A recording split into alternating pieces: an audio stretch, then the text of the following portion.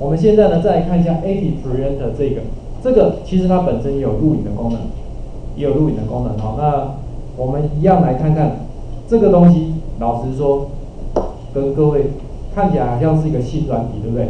可是各位不用太担心，因为真的跟各位在平常那种简报很像，跟着像简报一样。所以你如果用免安装的版本，你从这边点进来，好，免安装的点进来，直接执行它就好了。这个有中文的，有中文的哈，所以应该没有问题。那我已经有安装了，所以我就直接来这边，我看一下。好，我是用安装的，打开。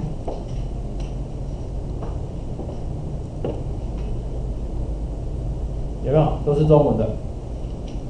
好，没有没有太大的这个语言上的障碍。那么现在呢，我们来看一下，其实它一样有分所谓的全动式的录影跟影像式的。好，那先了解一下它的快速键是什么。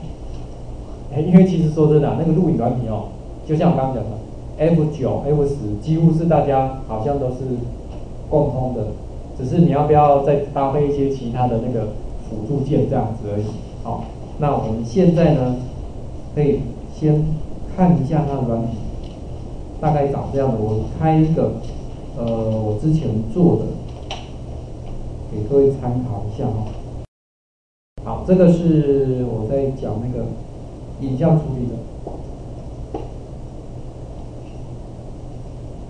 OK，像这边的话呢，你看右手边。有没有觉得有一点点熟悉的感觉？像不像简报？对不对哈？简报也是这样一张一张的哈。那这里面呢，像这样一张一张的，你可以自己去决定。好，所以其实你也可以把简报的内容汇进来，真的。那么如果您曾经学过，它每一根简报下面都是有一个类似像这样时间轴，时间轴，也就是说你今天我有简报的内容，有影片的内容，我可以在上面再加上什么？包括你说要打字幕。或者你要加上一些说明，加上影片都可以。哦，它就是利用图层的方式搭配时间轴，决定什么时间出现，什么时间消失这样子。那看了这个还是不是很了解，它到底要做什么，对不对？所以我再来找啊这个地方，我可以看一下。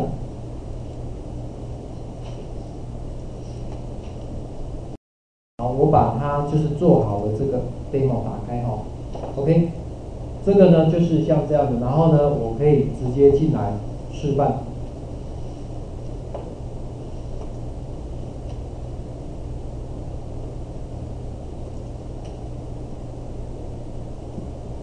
好，有没有看到右手边？右手边有没有？对不对？今天如果是像我们这种，比如说演讲也好，那如果它是一个两个小时或三个小时的。他就只能从头听到尾嘛。可是如果他你有帮他把这个东西整理好，他今天就可以看哦，我想要看这个九宫格的，我就点九宫格；我想要看影像处理就点影像处理。这样你了解那个概念了吧？所以这个软体它就可以像这样让你去有点类似像剪接软体，可是它要让各位呢可以把它输出成网页或者是照片啊，呃不是不是照片，输出成影片，哦也可以。像这样子，我在看东西的时候有没有比较清楚一点？对，不管是简报也好，还是说这个内容都是 OK 的。所以我们主要要做的就是像这样。那看起来有做网页，可是实际上呢，各位不用担心，因为它里面都把这些范本帮你弄好了。你只要把基本的资料有填写好，像这边有没有有这个基本的资料填写好，那你就会有一个预设的网页。等于说你不用学网页就可以做到像这样网页上的一个教材，我们在学习上相对比较方便。好，当然你把它就当做影片剪接软体也是可以的，它也可以直接输出成影片。好，就不要做这种互动的，就变成一段影片也是 OK。因为我们第一套软体其实它主要是录制的部分，在编辑的上上面呢，它就要另外再买他们公司其他软体，可能就不见得对我们来讲那么适合。好，那我就。介绍这一个，这样我们再用应该会比较简单。首先，其实我们现在呢，这个看过了之后，我现在就来开一个新的专案，我们来录一下。那在录的过程，我们来跟各位分享一下这个我，看哈，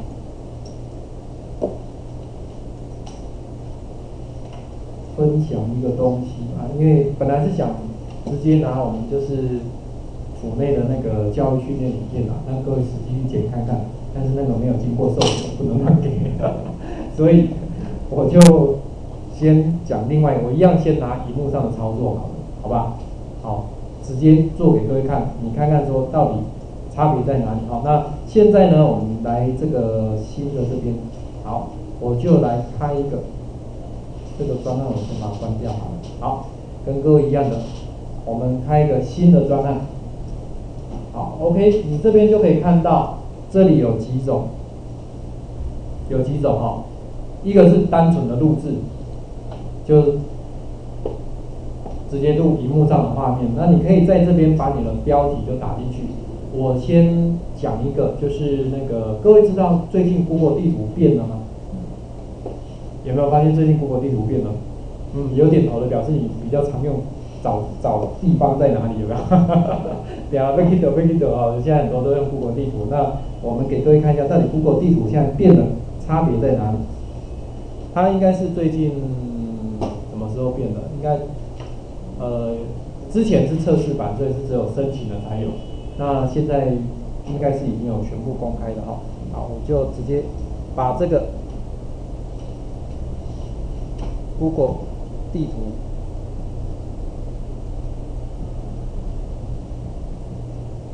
好，OK，那么它储存的位置在哪里？这个就你自己看一下，好，反正这个你可以自己选择，好，自己选择这没有问题。重点是在下面，有没有发现它第一个叫做全方位录记录？那这种方式就是我们第一种录影的方法，就是管它的全都录，全部都录下来嘛，好，全部都录下来。另外一种方式是这个叫做记录动画跟串影片串流，哎，我不知道各位有没有去考过那个我们公职考试的话，外面不是有一些像什么智光啊，一些那种补习班，现在他们有推那个什么，就是数位的，以前就是就是类似像函授嘛，对，但现在是有网站让你直接上去看，可是那个影片你可不可以下载下来？没有，但是有人就是想要。保留一份嘛，万一没有，不是不是没有过啦，就是 别人有需要用到的时候可以给他参考。那这种叫做串流，还得了解啊哦，就是看的时候，其实已经到你电脑屏幕了，为什么没有办法录下来？有的人会也会想办法，就直接用 DV 把它录下来，有没有？反正无所不用其极吧。那我们只是有另外一种方式可以用而已了哈。好，那下面这个叫做智能录。而且它是 auto 的哦，自动的，也就是说它自动帮你判断。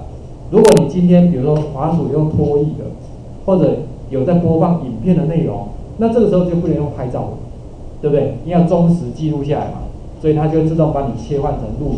可是等到你比如说我们在讲，像我现在在讲这个内容的时候，我的画面都没有变，只有声音有改变，这个时候它就用拍照的，把这里拍下来就好了，帮你录声音，这叫智能的，好，就是自动的。下面这个呢是很单纯，就是一定是做拍照用的，就拍照而已，它不会自动帮你切换成录影的模式。这样有没有了解这套的里面主要四种模式？其实一般来讲就是第一种跟这个呃第三种用到机会比较多而已啦。第二种我只是跟你开玩笑的，那个有版权问题，你还是不要随便乱做。好，OK，好，我先用。第一种的方式录，好吧？第一种其实就跟我们刚做的一样，它录下来就是一个档案而已，啊，应该就是一个 slide 啊，就是一个 slide 哈。我我先做一次给各位看 slide。好，那么你按下 OK 之前，你先可以看一下它有一个录制的说明哦。这里面呢就有那个热键，它中文翻作热键哈，因为热键比较像对岸的讲法，我们这边比较。叫快速键哦，你看它暂停有没有电脑上的 pause，对不对？然后呢，录制，它的所谓的全动态记录就是 F 九，停止就是这边的停止是 end，这样看到了哈。所以快速键这里有点不一样哈，一个是 pause，一个是 end，好，暂停继续，一个是停止。好，我现在就开始录。好可是开始录的时候，他就问你了啊，那你的荧幕画面要录多大的？好，要帮你录多大的？你可以录特定的区域，你可以发现旁边有没有一个绿色的框框？这里，你可以移动它，对不对？那如果你要录指定的应用范围，你可以选择应用程式，它就让你去选你是哪一个应用程式，哦，或者是你要录所谓的全荧幕，好，我现在就先录全荧幕了，哦，录全荧幕我就不用特别再选了哈，好，OK 咯。好，这个时候我现在就把它切换到我们的 Google 浏览器上，好，进到我们的地图，哎，网络无法使用。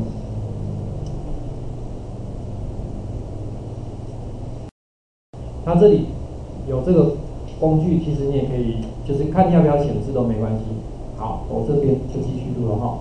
好，OK，你看，它现在在这边，这，那你想要去哪里呢？我们最近有什么景点？八卦山，离我们这边最近的哈。好，你找到之后，它关键字除了有出来以外，下面这边景点是不是都出来了？对不对？假设哦，派出所，好，游客中心，好好点进去。哎，以往的使用方法是会出现在里面那种，现在就直接出现在这边。而且呢，很好的是，它连那个游客中心的营业时间、地点、电话有没有都显示出来？跟以前不一样哦，以前这边是没有出现在里面的。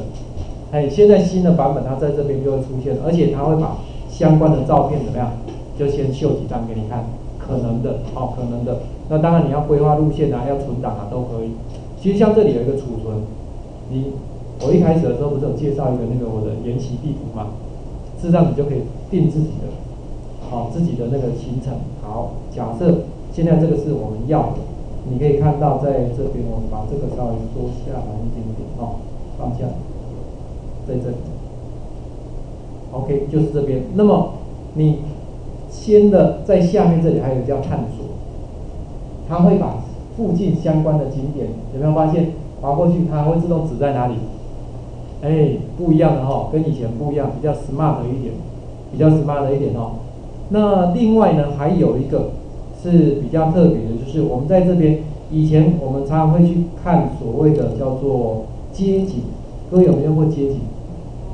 有哈，下面这个就是街景的，好，就是街景的。你如果点下去，它就会显示街景给你看，对不对？那以往你要看这些景点，其实老实讲，那个街景呢，有时候要抓那个人啊，那个小人去对到哪边。说真的，虽然好用，但是就是那个位置哈，有时候不是那么容易对到，哎，真的不是那么容易对到。所以呢，这里我先把它把补一下哈，先回来。你如果要切换到街景的话呢，这里有一个在这边，先收起来。我记得这边有多一个，哎，上面这里是建筑，它这里有一个导览，你进入到街景模式时候，好，你说到这里，收起来。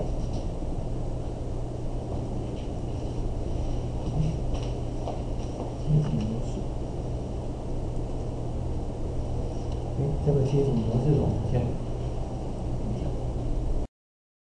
好，你看到这个张师大了哦。那它在这边呢，你要找就相对比较简单一点了，有没有？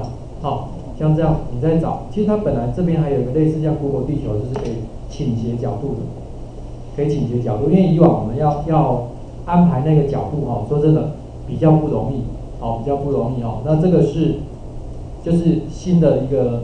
街景的一个使用方式，虽然说它还不是非常完美，但是至少在使用者的一个经验上，应该是会比以前好一点，哦，比以前好一点。OK，那我就先把它录到这边，我把这一段，其实我现在两个软体都在录了，好，那我把这一个呢，就先停止，好，大概录了几分钟了，好，有没有发现它自动帮我把这个产生一个好像简报一样，对不对？产生一张。这个简报，然后呢，影片呢就会自动出现在这边，好，就会自动出现在这里。那么如果你需要针对它，因为这是一段影片哦，所以如果你需要它去做剪接的，等一下在下面可以做剪接，因为有些时候讲讲的过程，像我刚有听到，对不对？有出有吃螺丝的，难免你就可以在这边把它再切开。我先先暂时不分了啊，先不管它大概讲到哪里哦。比如说我大概哦，这里有一个网页无法使用，对不对？我就可以在这边好，你看哦，在这里有，这里会比较小一点，有没有看到一个叫分割？对不对？你把上面这个游标哈，就是我们要看的那个点，好，确定到你这边了。好，这里假设这一段是不要的，我可以这样把它选起来。你把它想做，这就好像是在做影片剪接一样，好，影片剪接一样，来这边做。那我假设选起来这里不要，就直接删除，有没有一个删除范围？好，我先把它删掉哈。哦，好，那我希望在这边切断，对不对？你看这里，它后面就切断了。如果你今天不是要切断，而是要把它变成另外一张的投影片，各位还记不记得我现在右手边是不是有一个投影片？那我希望说不同主题，我就像我们刚看到那个网页一样，可以变成不一样的主题，让它去选。这个时候我用的是右手边这个，有没有看到这叫分割幻灯片？我希望到这边之后变成下一张幻灯片。好，先看一下右手边，有没有注意到这里变两个了？对不对？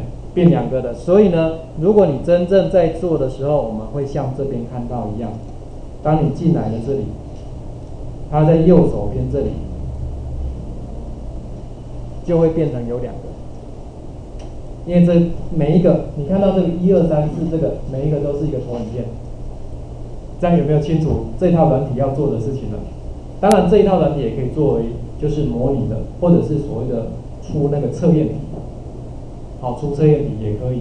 但是应该以我们今天来讲的话，应该还是主要先你要学会剪接这个影片为主，好，这个影片为主，这样有没有问题？